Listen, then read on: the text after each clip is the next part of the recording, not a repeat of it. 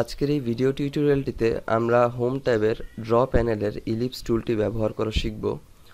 তো, আমরা প্রথমেই হোম ট্যাবের ড্র প্যানেলে আর্কের পাশে যে ইলিপস টুল আছে, সেখানে ক্লিক করলে ইলিপস ফ্লাইআউটে দেখা যাবে যে তিন ধরনের অপশন আছে, যার মাধ্যমে আপনি একটি ইলিপস তৈরি করতে পারবেন।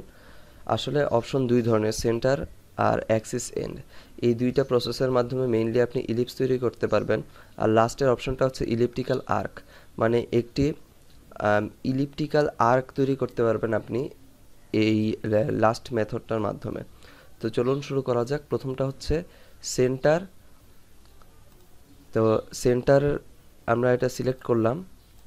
সিলেক্ট করার পর প্রথমে আমাদের এই অক্ষর সেন্টার যেখানে, সেখানে আমাদের মার্ক করতে হবে।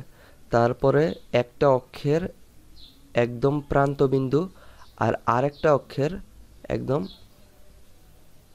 প্রান্তবিন্দুতে যদি আমরা ক্লিক দিয়ে দিই, তাহলে সেই ইলিপসটা তৈরি হয়ে যাবে।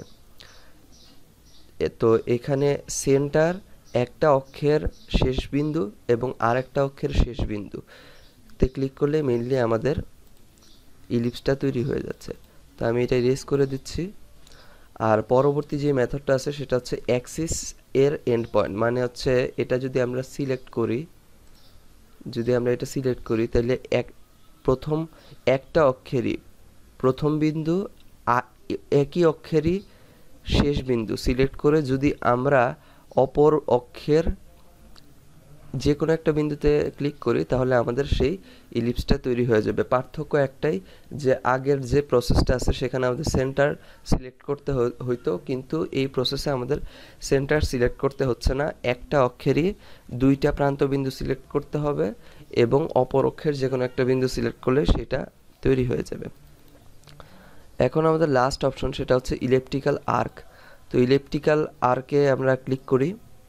তো এখন আমাদের ইলেকট্রিক্যাল আর্ক তৈরি করার জন্য কমান্ড প্রম্পট এরিয়ায় দেখেন যে আমরা অক্ষের প্রান্তবিন্দু সিলেক্ট করতে পারি অথবা তারা আমাদের এখানে সেন্টার অপশন দিয়ে দিচ্ছে তো আমি এখানে সেন্টারে ক্লিক করলাম। সেন্টারে ক্লিক করার সাথে সাথে আমি পরে এখন সেন্টার ওই অক্ষের একটা প্রান্তবিন্দু এবং অপর অক্ষের প্রান্তবিন্দুতে ক্লিক করার পরেও দেখেন আমাদের কমান্ড কিন্তু শেষ হয় নাই। কারণ হচ্ছে এটা ইলেকট্রিক্যাল আর্ক এটা কোনো ইলিপস না। ঠিক আছে? ইলেকট্রিক্যাল আর্কও কাইন্ড অফ ইলিপস হতে পারে যদি সেটা সম্পূর্ণ পরিধিকে কাভার করে ফেলে। তো সেই ক্ষেত্রে আমরা এরিয়ার যে কোনো একটা জায়গায় ক্লিক করব। ক্লিক করলে দেখেন ওই জায়গা থেকে শুরু করে সে একটা আর্ক তৈরি করবে।